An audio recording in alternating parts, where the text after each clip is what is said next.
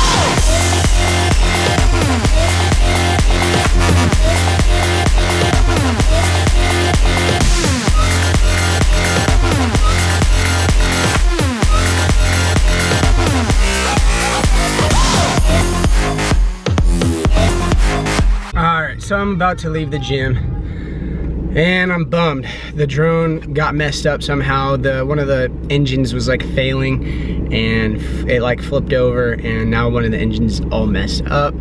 Super upset, but um, hopefully they have like a one year warranty, so hopefully the warranty will get it fixed and I just don't know how that's gonna work because there's no service centers around us.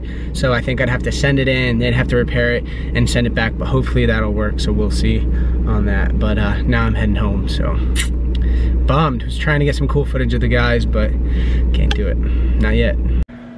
All right, guys. Well, we had dinner. We had chicken, Brussels sprouts, and red potatoes. So that's pretty much gonna do it for the day. So thank you for watching. We're gonna get ready for bed. They're working on a house over there, so we actually don't have any water. So I'm waiting to go to shower, but I can't yet. I'm gonna shower and go to bed. So thank you for watching. Give the video a thumbs up. We'll see you guys next time.